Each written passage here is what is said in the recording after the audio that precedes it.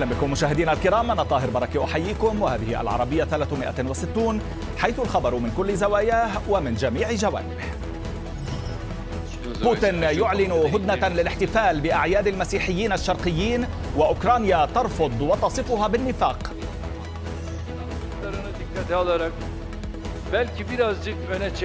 إردوغان يلمح لتقديم الانتخابات العامة والمعارضة تدخل دون اتفاق على مرشح موحد.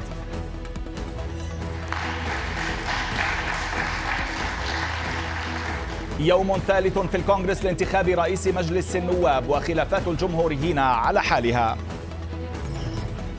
وسيكون لدينا أيضا. في كتاب جديد الأمير هاري يتهم شقيقه ويليام بضربه ويقول إنه عومل كقطعة غيار احتياطية.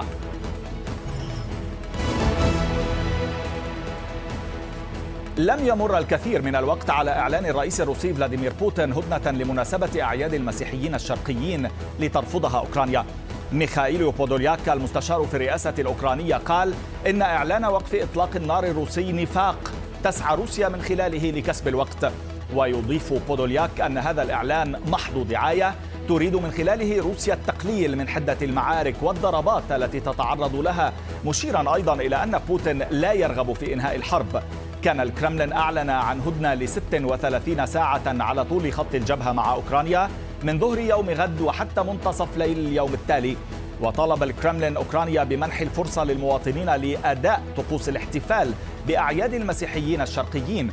لكن أوكرانيا كما ذكرنا رفضت وطالبت روسيا بالانسحاب من كل الأراضي التي سيطرت عليها قبل الحديث عن هدنة مؤقتة وهو طبعا أمر مستبعد لأن بوتين قال قبل ساعات إنه مستعد لمحادثات السلام مع أوكرانيا إذا اعترفت بالواقع الجديد الموجود على أرض المعارك لترد أوكرانيا أيضا بأن أمرا كهذا مستحيل الحدوث. وبينما يزداد الحديث عن السلام تقول المعارك العكس تماما. فهناك معارك محتدمة في بخموت في الشرق تريد روسيا السيطرة عليها. ثم تدخل بيلاروسيا ورئيسها ألكسندر لوكاشينكو حليف بوتين الأقرب يدخل على خط تضييق الخناق على أوكرانيا. فقد طالبت بيلاروسيا كل الذكور في الدولة ممن هم في سن الخدمة العسكرية بالذهاب إلى مراكز التجنيد. الأمر الذي يثير تكهنات حول تعبئة جديدة محتملة. ثم تعلن وزارة الدفاع البيلاروسية عن تعزيز التدريبات المشتركة مع روسيا كما تعلن عن إجراء تدريبات جوية مشتركة فيما تحذر أوكرانيا من تعرضها لاجتياح من الشمال. من مدينة شيرنيغوف على الحدود الأوكرانية البيلاروسية. حذيفة عادل مراسل العربية. أهلا بك معنا. حذيفة إلى ما تشير كل المعطيات على الأرض على الحدود الأوكرانية البيلاروسية لجهة إمكانية حدوث اجتياح محتمل أو تطوير على الأقل المشاركة البيلاروسية في هذه الحرب على أوكرانيا.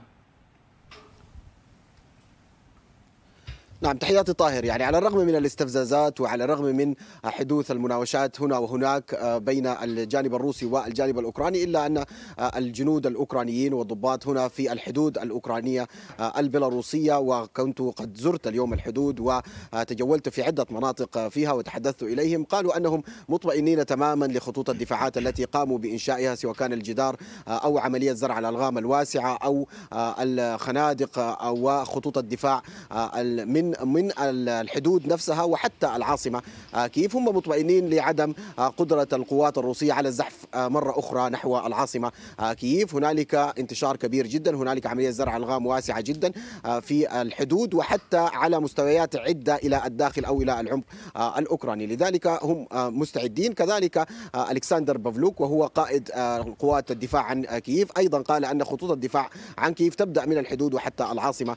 كييف وقال أن لن يتكرر ذات السيناريو الذي حدث في الرابع والعشرين من فبراير هو الاجتياح عن طريق الأراضي الشمالية والوصول بهذه السرعة نحو العاصمة كييف. طيب ماذا يعني تقول المعطيات بخصوص إمكانية أن يعني يتمدد الصراع أكثر من الجانب الأوكراني السياسي الرسمي؟ أتحدث.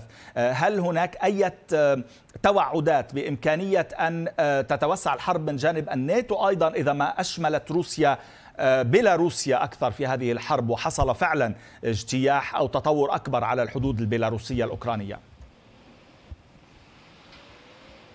نعم تحديدا حول ذلك طبعا لم تتحدث السلطات الأوكرانية أو الجانب آه، الأوكراني وحتى دول آه، حلف الناتو لم تصرح آه، حول ذلك. ولكن هنالك طبعا تكهنات من قبل بعض المحللين سواء كان السياسيين أو العسكريين حول إمكانية أن حول عملية دخول دول الناتو في هذه الحرب. إذا ما حدثت خروقات من بيلاروسيا في اتجاه تلك الدول وخاصة أن كان هنالك بعض التهديدات التي طالت الدول القريبة من بيلاروسيا في من قبل الرئيس لوكاشينكو نفسه. من مدينة شرنيكوف على الحدود الأوكرانية البيلاروسية حذيفة عادل مراسل العربية شكرا جزيلا لك.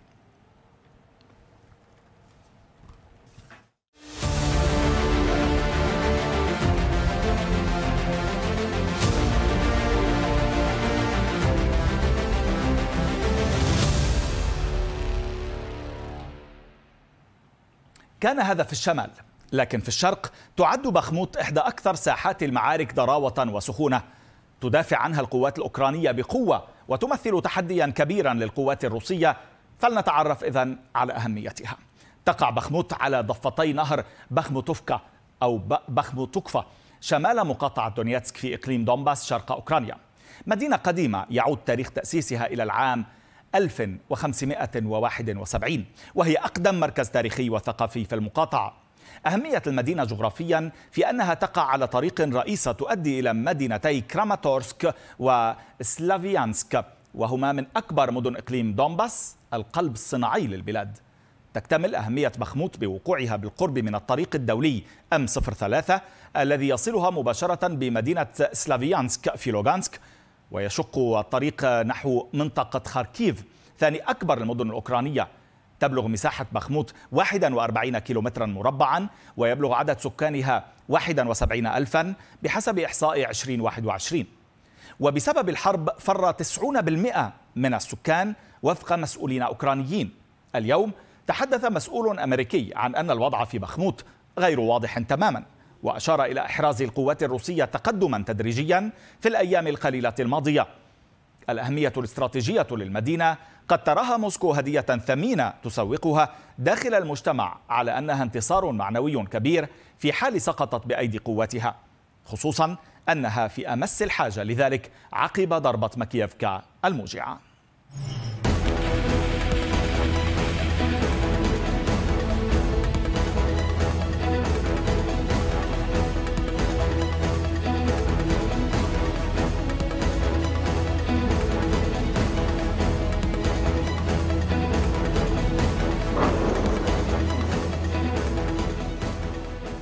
الحرب في بخموت تمثل جزءا من معركة أوسع يتسع نطاقها يوما بعد يوم باستخدام أسلحة غير تقليدية.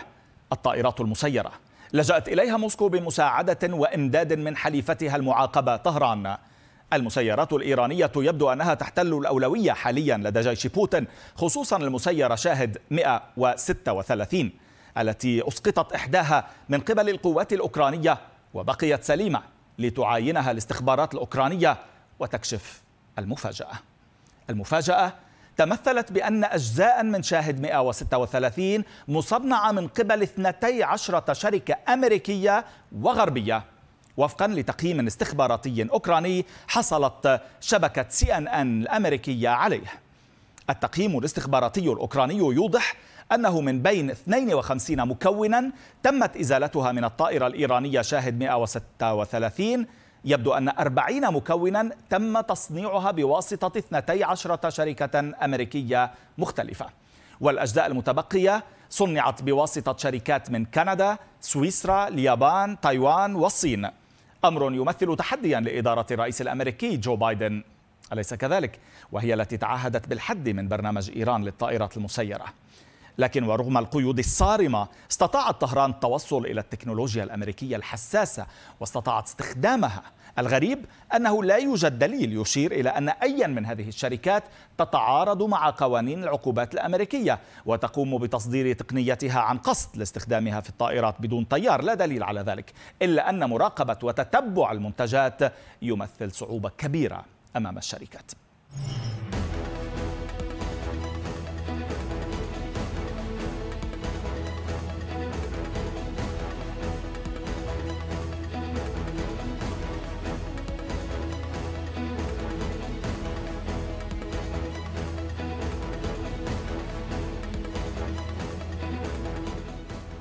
من هنا أصبح الاتجاه لمنع إيران من تصنيع المسيرات أكثر إلحاحا مع استمرار روسيا في نشرها في جميع أنحاء أوكرانيا بضراوة لا هوادة فيها إضافة إلى استعداد موسكو لإنشاء مصنعها الخاص لإنتاجها بمساعدة طهران وفقا لمسؤولين أمريكيين. تحقيق منفصل للطائرات الإيرانية بشأن المسيرات الإيرانية التي تم إسقاطها في أوكرانيا أجرته شركة Conflict Armament Research ومقرها المملكة المتحدة توصل إلى أن 82% من المكونات تم تصنيعها من قبل شركات مقرها أمريكا. ونقلت سي ان ان عن نائب مدير العمليات في Conflict Armament Research قوله إن العقوبات لن تكون فعالة إلا إذا استمرت الحكومات في مراقبة الأجزاء التي يتم استخدامها وكيف وصلت إلى هناك. أضاف أن إيران وروسيا ستحاولان الالتفاف على تلك العقوبات وتغيير قنوات الاستحواذ الخاصة بهما وهذا بالضبط ما يجب التركيز عليه تتبع المكونات ومراقبة التغييرات. هناك تحد آخر على أوكرانيا وأمريكا خوضه أو إيجاد حل له على الأقل. فالطائرات المسيرة الإيرانية تكلفتها الزهيدة تتراوح بين 20 و 50 ألف دولار بينما السلاح الذي يسقطها يكلف كييف ما بين 120 و 500 ألف دولار. تخيلوا الفارق. خلق هذا مشكلة متنامية لأوكرانيا ولحلفائها. فنظام ناسامز على سبيل المثال الذي تحدثنا عنه كثيرا هنا هو نظام دفاع جوي قصير إلى متوسط المدى أرسلته واشنطن إلى كييف في نوفمبر. إطلاقه بحسب ما ذكرت صحيفة تايمز يكلف 500 ألف دولار. تنقل الصحيفة عن خبيرين عسكريين قولهما إن إطلاق صواريخ بقيمة أربعة ملايين دولار والقصد هنا الباتريوت على 250 ألف دولار من صواريخ كروز روسية قد يكون مبررا إذا أصابت تلك الصواريخ أهدافا حساسة. بينما إطلاق صواريخ بقيمة أربعة ملايين دولار على طائرة إيرانية بدون طيار من طراز شاهد 136 بقيمة 50 ألف دولار أن يستحق الأمر ذلك؟ لن يستحق. وبالتالي المعضلة تستمر حتى تجد واشنطن حلا وهو ما تعمل عليه الآن.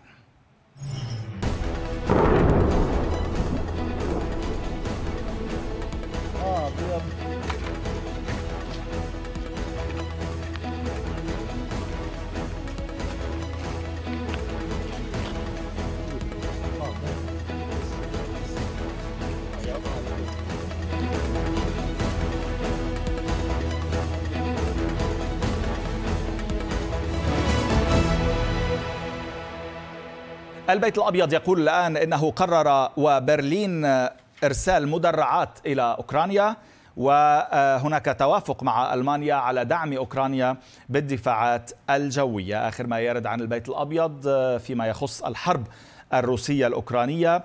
وكذلك هناك أخبار عاجلة عن قاض إيراني يطلب من المدعي العام فتح تحقيق بتهم اغتصاب واعتداءات جنسية بحق سجينات. نتابع أيضا كل أخبار التظاهرات الإيرانية المستمرة في سياق نشراتنا. تجري تركيا انتخابات قد تحدد مصير حزب العدالة والتنمية الحاكم منذ العام 2003 وبالتالي مصير الرئيس نفسه رجب طيب أردوغان. الانتخابات ستشمل الرئاسة والبرلمان وحددت في الثامن عشر من يونيو 2023 لكن الرئيس التركي لمح إلى أنها قد تجرى بوقت أبكر قليلا مراعاة للظروف الموسمية بحسب ما قاله أردوغان اليوم. التحدي الأكبر الذي تواجهه البلاد يتمثل بالاقتصاد. انهارت قيمة الليرة بشكل متكرر أمام الدولار لتستقر حاليا عند 18 أو عند 18 ليرة فاصل 74 مقابل الدولار الواحد. واستباقا للانتخابات المهمة أعلن الرئيس التركي إجراء تعديل على زيادة رواتب الموظفين الحكوميين والمتقاعدين لتصبح 30% بدلا من 25 بحسب ما أوردته وكالة أنباء الأناضول الرسمية لترتفع أجور المتقاعدين مثلا من 3500 ليرة إلى 5500 ليرة اعتبارا من الشهر الجاري. تعلمون جميعا أهمية الانتخابات. قد يتم تحديث موعدها ليكون أبكر قليلا في هذا العام لمراعاة بعض الظروف الموسمية المتعلقة بالمناخ والأجواء. ومع اقتراب التصويت المصيري نجد خمس قضايا تنتظر الحسم في تركيا وتوصف ضمن مدة زمنية قصيرة لا تتعدى الأربعة أشهر. أولها والأكبر هي من ينافس الرئيس رجب طيب أردوغان. لم تتمكن أحزاب المعارضة من الاتفاق على اسم معين حتى الآن. أمر يصب بمصلحة الرئيس وحزبه. القضية الساخنة الثانية هي القضايا المرفوعة ضد المنافس المحتمل رئيس بلدية اسطنبول أكرم إمام أوغلو الذي حكم بالسجن أكثر من عامين في قضية تعود جذورها لتاريخ تسلمه كرسي البلدية. كما يواجه إمام أوغلو قضية أخرى وهي ادعاء من مفتشي وزارة الداخلية رفعوه للنيابة بشأن الادعاء بأن الرجل وظف أشخاصا مرتبطين بالإرهاب في البلدية القضية أو المعضلة الثالثة الخطيرة. إنجاز التعبير تتمثل بترقب الأوساط التركية قضية تتعلق بحل حزب الشعوب الديمقراطي. المتهم بوجود صلات له مع حزب العمال الكردستاني المصنف إرهابيا في تركيا والاتحاد الأوروبي والولايات المتحدة. تمهيدا لقرار الحل ربما قررت المحكمة الدستورية العليا اليوم حرمان الحزب مؤقتا من المخصصات المالية البالغة 539 مليون ليرة تركية أي ما يقارب 29 مليون دولار. وذكرت محطة أن تي في في الخاصة التركية أن قرار حرمان حزب الشعوب الديمقراطي من المخصصات المالية اعتمد بغالبية ثمانية أصوات مؤيدة ومعارضة سبعة. ونتابع. إذا آه، ذكرت ذلك محطة أن تي في الخاصة. القضية الرابعة المهمة هي قضية التعديلات الدستورية التي طرح رئيس حزب الشعب الجمهوري كمال كليتش دار أوغلو ومنها العودة للنظام البرلماني. لكنه اقتراح لن يمرر طالما بقي حزب العدالة والتنمية صاحب الأغلبية في البرلمان. إضافة إلى تعديلات أخرى. وتتطلب الموافقة على إجراء تعديل في الدستور في البرلمان التركي الحصول على 400 صوت. وإذا تراوحت الأصوات ما بين 360 و 400 صوت فإنه يمكن نقل أو يمكن له أن يطرح على الاستفتاء الشعبي.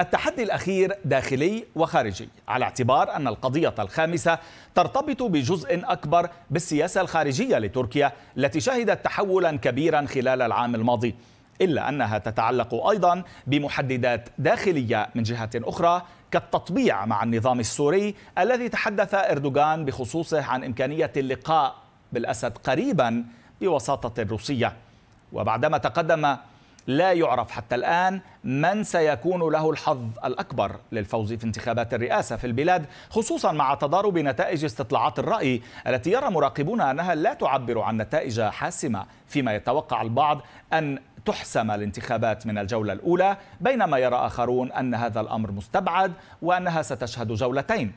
يجب أن يحصل المرشحون على نسبة 50 زائد واحد من الأصوات على الأقل بالمئة طبعا ليتم انتخابهم. لكن وفي حال لم يحصل أي مرشح على الأغلبية المطلقة في الجولة الأولى فتجرى جولة ثانية بعد 15 يوما بين المرشحين اللذين حصلا على أكبر عدد من الأصوات. أولا وبعد ذلك سينتخب المرشح الذي يحصل على أغلبية الأصوات الصحيحة رئيسا لتركيا.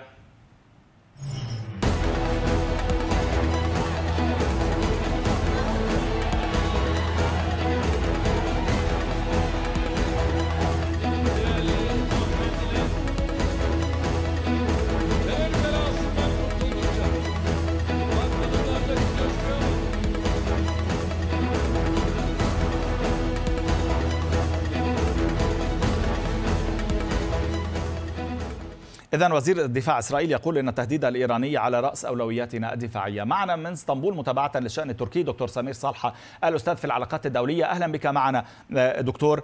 آه، كنا نقول أنه آه، تبقى النتائج غير محسومة ولكن البعض قد يعتبر بعد كل ما تقدم أنه نتائج ربما تكون محسومة فعلا مع كل هذه الأمور التي يقوم أردوغان الآن بمحاولة جعلها تصب في صالحه إن كان على المستويات الداخلية أو الإقليمية. نعم مساء الخير للجميع. اولا بدي أهنيكم على التقرير المفصل اللي فعلا يحمل آخر التطورات يعني آخر الحالة السياسية الانتخابية التي نناقشها في الداخل التركي في هذه الساعات. شكرا لك. نعم يعني أتفق أنا معكم الانتخابات ستكون مختلفة عن الانتخابات التي جرت في السابق تحديدا بالنسبة للانتخابات الرئاسية 2014 و2018 الرئيس رجب طيب أردوغان كما تتذكر أنت أيضا وقتها فاز بفارق كبير على منافسيه سواء كان آه، في عام 2014 إكمال الدين إحسان أوغلو أو في 2018 على مرشح اليساري آه، لحزب الشعب الجمهوري. الآن هذه المعركة يعني حسب استطلاعات الرأي الكثير من استطلاعات الرأي قبل آه، شهرين تحديدا كانت تعطي كانت الإبرة تميل بشكل واضح سواء كان في الانتخابات البرلمانية أو في الانتخابات الرئاسية إلى صالح آه، قوى المعارضة. الآن في الشهرين الأخيرين بدأنا نرى تحول في استطلاعات الرأي صعود جديد لحزب للرئيس رجب طيب أردوغان. النقطة المهمة أنا وأنت سنناقشها مطولا ربما في المرحلة المقبلة. هي هل سيكون سيناريو طبعا هذا من عندي هل سيكون هناك فوز مثلا للرئيس رجب طيب أردوغان وصوله مرة أخرى إلى الرئاسة و تعثر حزبه حزب العدالة والتنمية في أن يصل ويحصل على الأغلبية البرلمانية، هذه مشكلة الآن حسب الكثير من استطلاعات الرأي أن يفوز أردوغان وأن لا يصل معه حزبه إلى قيادة البرلمان في الأغلبية أو في الأكثرية. الآن في نقطة أيضا مهمة معلش قبل النقطة الثانية ليش هذا السيناريو مطروح من الآن؟ ليش فوز أردوغان وخسارة الحزب ليش موضوع مطروح من الآن؟ لأنه الرئيس رجب طيب أردوغان بالمقارنة مع أرقام قبل شهرين الآن عاد واسترد حوالي ست أو سبع نقاط على الأقل حسب شركات الاستطلاع. في الشهرين الأخيرين بسبب أكثر من موقف أشرتم أنتم إلى الكثير منها قبل قليل في التقرير وفي المعلومات.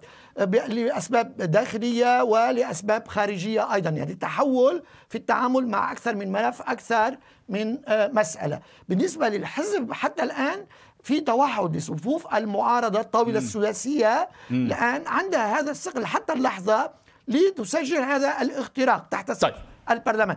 هل ينجح حزب الرئيس أردوغان في يعني سحب حزبه معه أيضا؟ لأن في نقطة أخيرة باختصار كنت تفضل. أيضا أتحدث عنها أضيف إلى السيناريوهات. باختصار جدا أنه مسألة الانتخابات المبكرة. نعم مطروحة.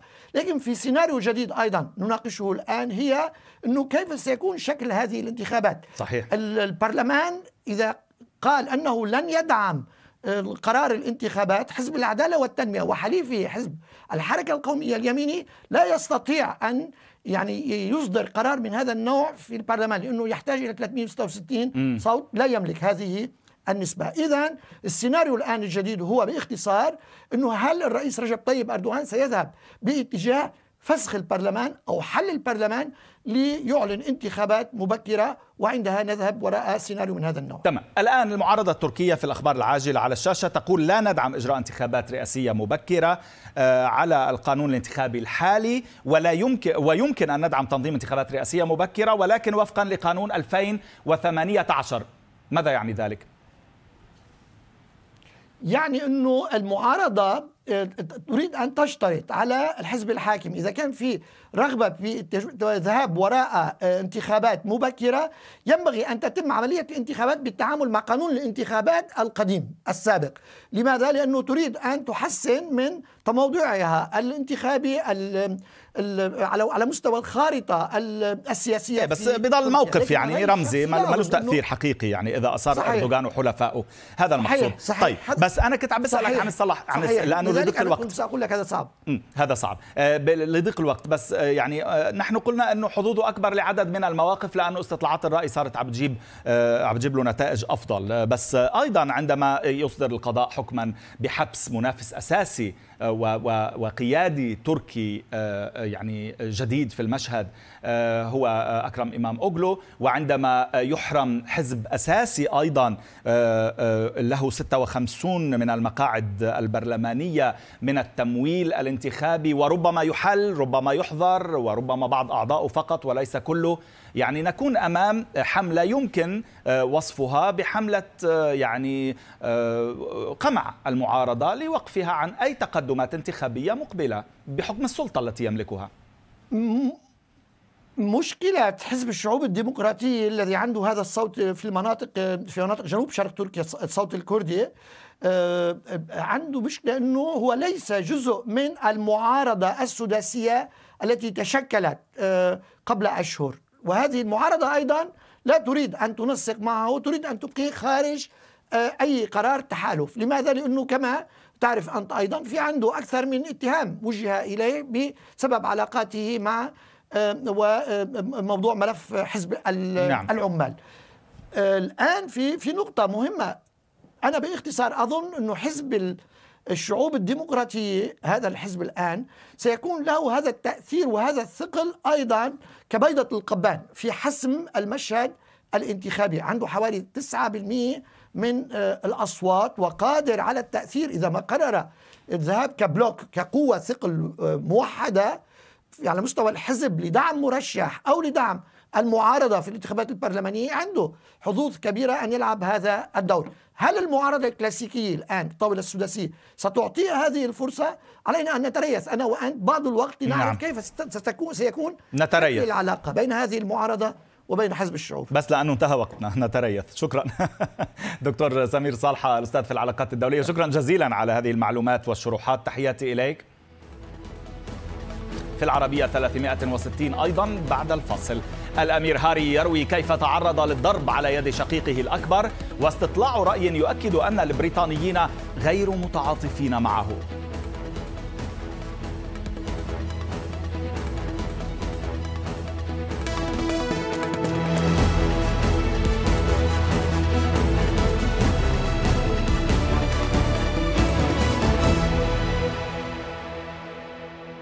أهلا بكم من جديد. خسر القيادي في الحزب الجمهوري كيفن مكارثي التصويت داخل مجلس النواب الأمريكي في سعيه للوصول لمنصب رئيس المجلس. وفي اليوم الثالث للتصويت وبعد سبع جولات لم يتمكن مكارثي بعد من توحيد حزبه الفائز بالأغلبية في المجلس حيث آه، تنافس ضده الجمهوري المتشدد بايرون دونالدز والذي يرى أن مكارثي صاحب مواقف ضعيفة. هذه صور مباشرة بالمناسبة نراها لاستمرار عمليات التصويت وجلسات مجلس النواب الأمريكي في الجولة الثامنة التي يذهب إليها النواب الأمريكيون الآن من التصويت. وتظهر المؤشرات أنه سيخسرها أيضا أي كيفن ماكارثي من داخل مبنى الكونغرس الأمريكي حيث جلسات التصويت على انتخاب رئيس لمجلس النواب. مراسلة العربية نادية البلبيسي أهلا بك معنا. نادية آخر المعلومات حول الجولة الثامنة آه، وأسباب الفشل المتكرر. نستطيع أن نقول طاهر بأنه بالفعل سيخسر كيفن ماكارثي الجولة الثامنة أيضا لسبب بسيط وهو أن المرشح اليميني المتشدد الذي هو يعني بحد ذاته غير مهم من هي شخصيته لكن من يدعمه من العشرين ما يسمون الآن بالمتمردين وهم ما يسمى بكتلة الحرية ال Freedom Caucus اختاروه حتى يجعلوه عقبة أمام وصول كيفن ماكارثي إلى مجلس النواب. وبالتالي ونحن الآن نشاهد التصويت معا. آه، لا يعني آه، بشكل عام نستطيع ألا ننتظر إلى النتائج حتى يصلوا ل 201 أو إلى آخره لأنه آه، بايرون دونالدز حتى الآن حصل على أكثر من سبعة. طالما هناك خمس أصوات معارضة لكيفن ماكارثي هذا يعني بأنه لن يصل إلى الرقم السحري المطلوب وهو 218 وحتى عجز كيفن ماكارثي بأنه لا يستطيع حتى تأجيل التصويت على اللجنة. بالأمس استطاعوا نوعا ما يعني آه، أن يؤجلوها حتى منتصف اليوم لكن اليوم بالتحديد قد يذهبون إلى جلسة تاسعة وهذا سيكون كارثي بالنسبة لمكارثي لأنه كما تعرف هناك تمركز في المعسكرين. معسكر يميني متطرف يختطف هذه الأجندة للجمهوريين ممثلين بعشرين نائب يريدون فرض أجندتهم على كيفن مكارثي. ومكارثي حتى لو استطاع بال 200 صوت الذي لديه أن يقدم تنازلات لهم. هذا يعني بأنه سيكون رئيس ضعيف جدا وسيكون لديهم قوة ونفوذ في اللجان وهي النقطة المهمة بالنسبة للجمهوريين والديمقراطيين معا.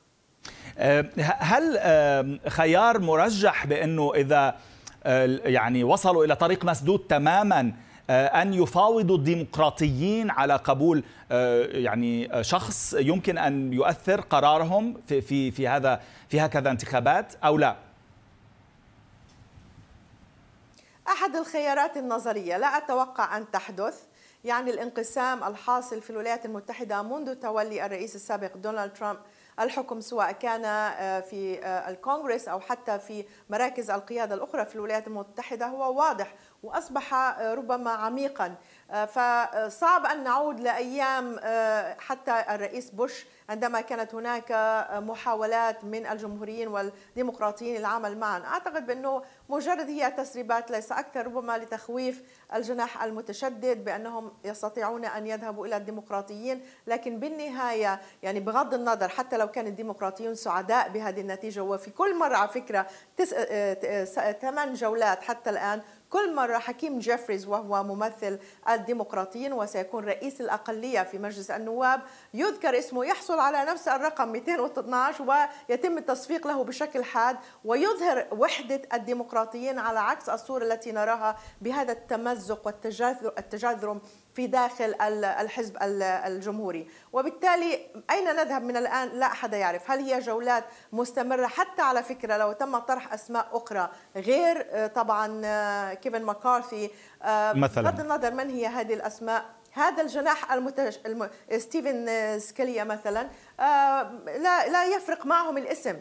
هم يريدون تنفيذ أجندة وبالتالي 20 نائب يميني متشدد يؤمن بنظريات المؤامرة موالي للرئيس ترامب حتى هم لم يسمعوا له عندما طلب منهم التصويت لكيفن مكارثي وبالتالي تمام. مستعدين أن يجروا الحزب إلى إلى إلى الحضيض إذا أردت أو إلى الوحل حتى يثبتوا هذه الأجندة. ويبدو حتى الآن بأنهم غير مستعدين عن التنازل على التنازل طاهر. مسلسل طويل آه، أمريكي طويل هذه المرة. شكرا جزيلا لك من داخل مبنى الكونغرس الأمريكي. مراسلة العربية نادية البلبيسي آه، شكرا جزيلا لك. على الأقل بنشوفك على الهواء.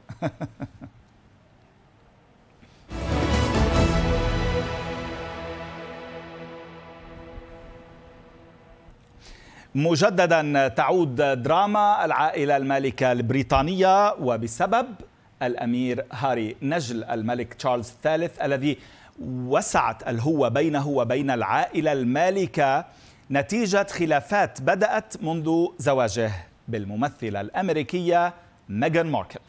أصدر الأمير هاري سيرته الذاتية تحت عنوان Spare والترجمة ربما هي احتياطي مع أنه الترجمة دائما خيانة حيث يصف هاري نفسه بأنه تمت معاملته كقطعة غيار احتياطية للتوريث في العائلة المالكة.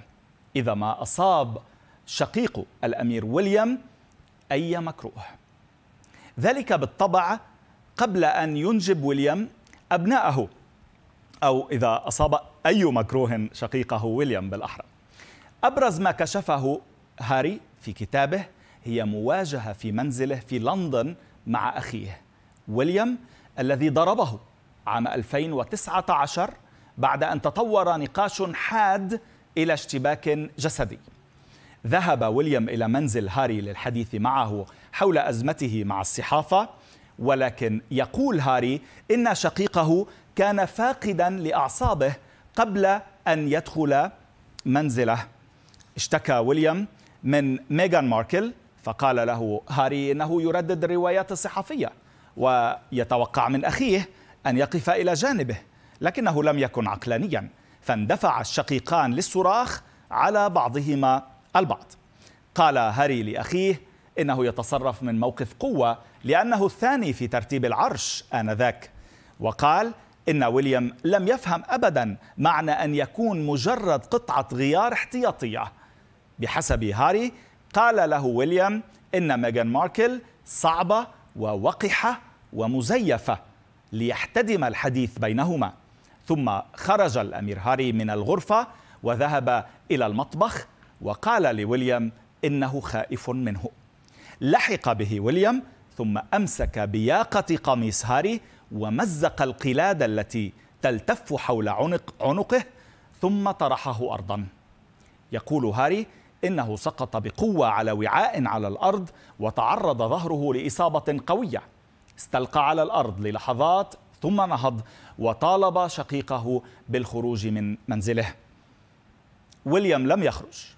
طالب هاري بأن يرد عليه الضربة بالضربة كما كانا يتشاجران في طفولتيهما. لكن هاري رفض ليغادر ويليام بعد أن اعتذر وطالب هاري بعدم إخبار ميغان ماركل بما حدث. يقول هاري إنه لم يخبر زوجته بما حدث إلا بعد أن لاحظت وجود خدوش وكدمات على ظهره فأخبرها بهجوم شقيقه عليه. لم تتفاجأ ميغان ماركل ولم تغضب أيضا. يقول هاري إنها كانت حزينة للغاية بسبب ما حدث.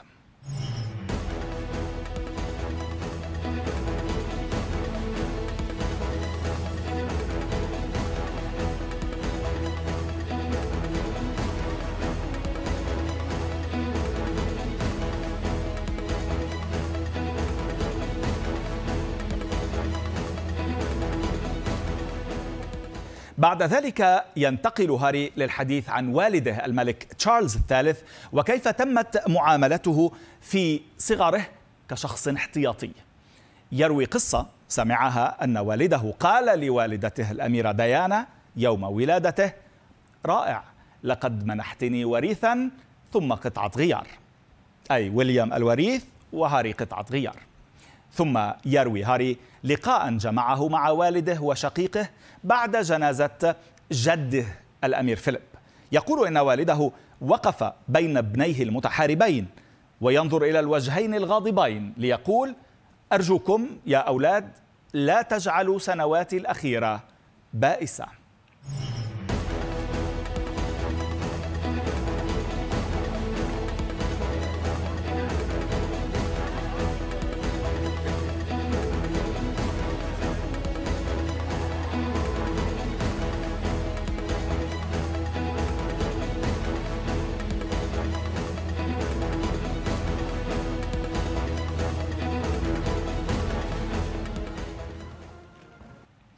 رغم هذه القصص المؤثرة للأمير هاري إلا أنه لا يبدو أنها تلقى الكثير من الأصداء التي توقعها هاري بل تلقى الأصداء ربما التي توقعها القصر. حتى الآن التزم قصر باكنغهام الصمت حيال كتاب هاري الجديد حتى أن الخبراء المهتمين بالشؤون الملكية يرون أن القصر يتعمد الصمت. تقول كينزي سكوفيلد الخبيرة في الشؤون الملكية إن العائلة مرت بما هو أسوأ من هذه الأزمة. وهذه حقيقة. وتعتقد أنه مجرد وقت قبل أن ينسى الناس هذه القصة الجديدة. أما إذا رد القصر فمعنى ذلك أن دراما هاري وميغان ستستمر.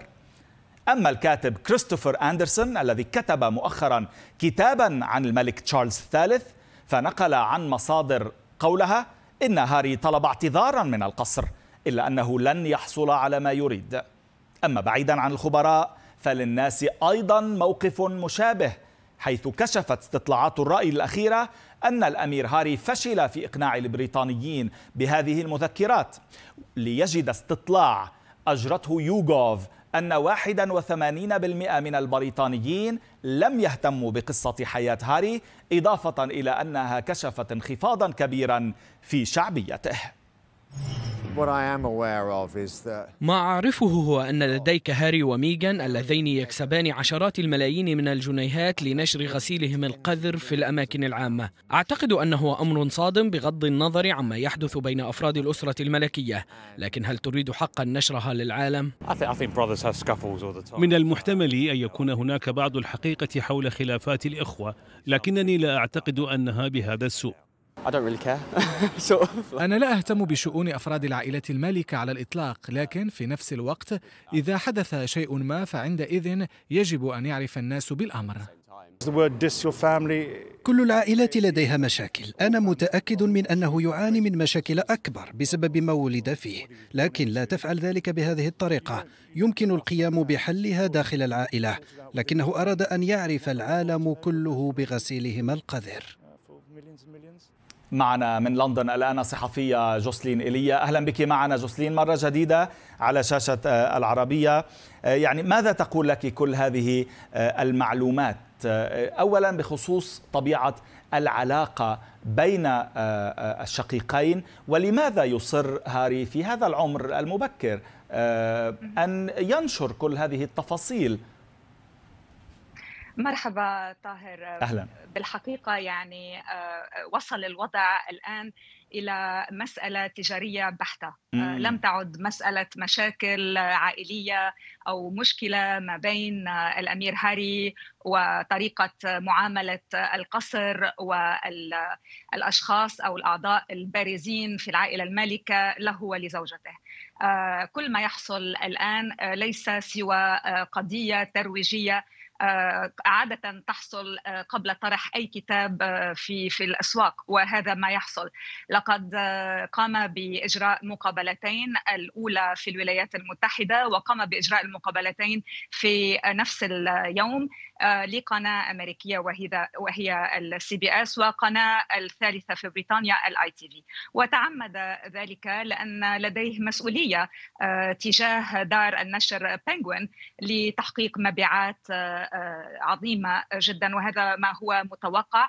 ولو أن الشعب البريطاني وحتى الأمريكيين لم لم يعدوا مهتمين مثل ذي قبل بقضية. الأمير هاري وزوجته. بس عدم الاهتمام هو انحياز للقصر أو لعادات ربما فيما يتعلق بالعائلة الملكية بأنه تكون بحبوا يكونوا محافظين بالقصص المتعلقة فيهم للحفاظ على الرمزية ربما أو في أسباب نعم. أخرى ربما تغير العصر لا هذا نعم طاهر يعتمد هذا الأمر على لأنه ليس جميع الموجودين في بريطانيا أو المقيمين في بريطانيا أو البريطانيين ليسوا جميعا من المؤيدين للعائلة المالكه أو ملكيين وهناك من هم من المحافظين.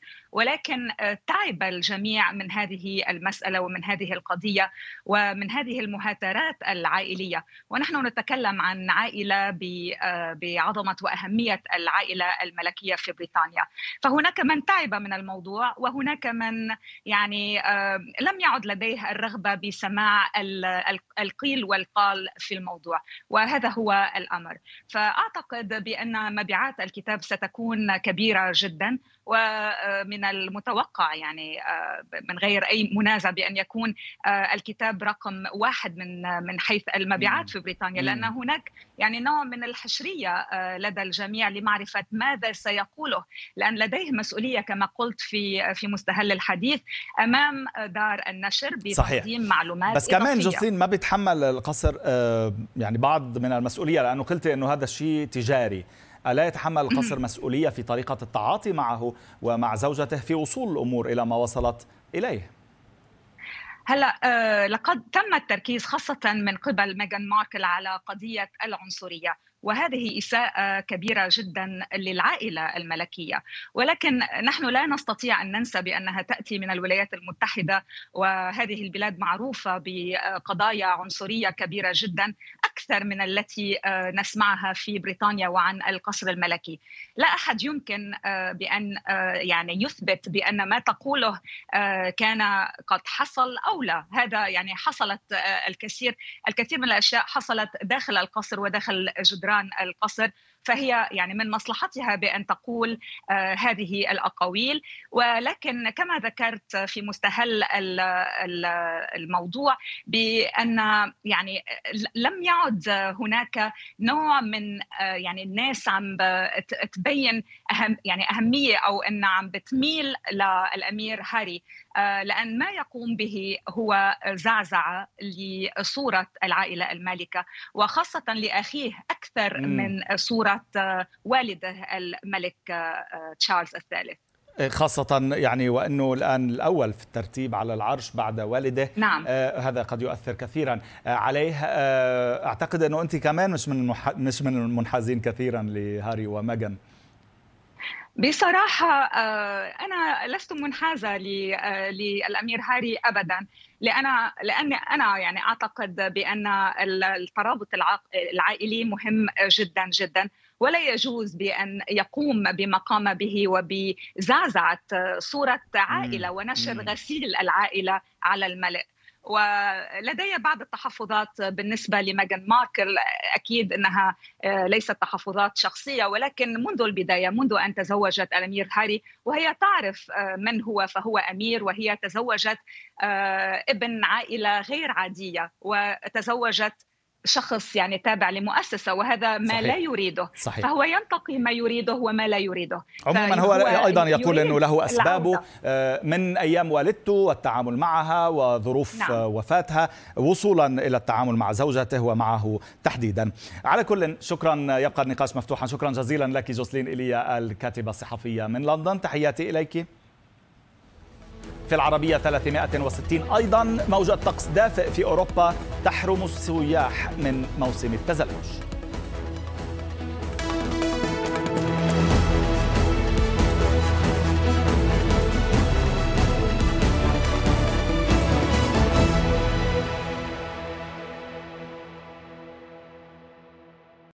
أهلا بكم من جديد. البنتاغون يقول بأن هناك تشكيك كبير حول العالم أجمع بعرض بوتين وقف النار أو الهدنة على الأقل في السادس من يناير في أوكرانيا.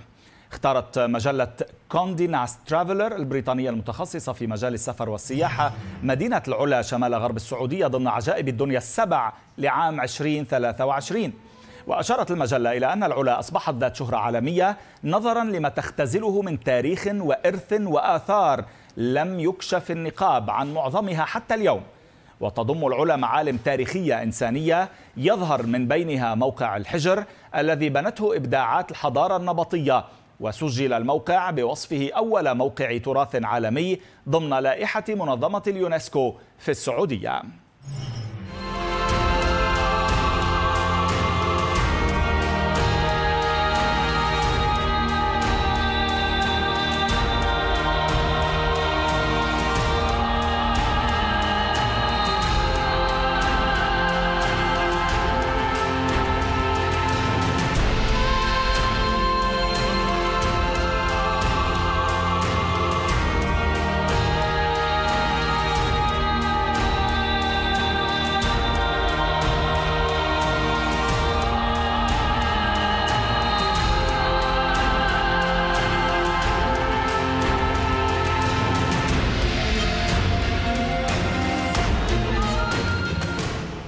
صورة اليوم في العربية 360 هي من شنغهاي الصينية.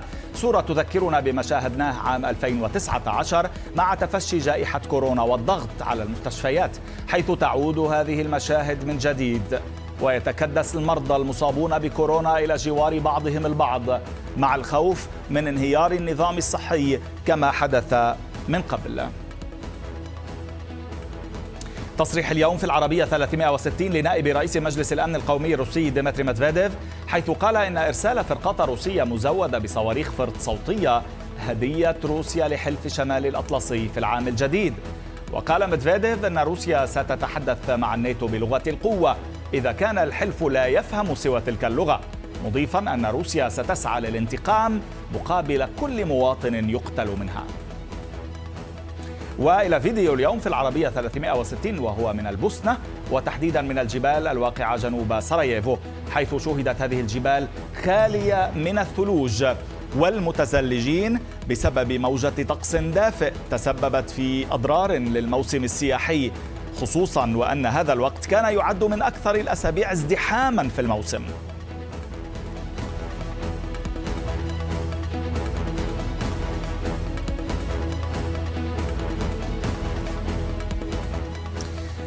شكرا لكم مشاهدينا الكرام على متابعة العربية 360 طبعا نحن نذكر بأن مجلس النواب الأمريكي فشل حتى الآن في انتخاب رئيس له مكارثي فشل في الجولة الثامنة أيضا. والأمور تتجه الآن إلى جولة تاسعة مع ثلاث جولات في كل يوم. مع تعهد أحد النواب وهو النائب الجمهوري جيتس الذي قال أنه لو استمر الأمر لشهور لن يتردد في منع انتخاب مكارثي ومكارثي يتهمه المتشددون في الحزب الجمهوري بأنه معتدل ولم يكن لم يتخذ مواقف سليمة إزاء قضية ترامب مثلا. أخبار الساعة مستمرة وهي الآن بعهدة صهيب شراير ويتابع هذا الموضوع بدون شك. صهيب؟ صحيح نبقي عيوننا على مجلس النواب الأمريكي. فشل تلو الآخر. وكما تفضلتم 20 نائبا جمهوريا يرفضون التصويت لمكارتي يعتقدون أنه جمهوري ولكن بعيون ديمقراطية. يعتبرون أنه معتدل أكثر من اللازم. نص جمهوري يعني. نعم. تفضل. شكرا.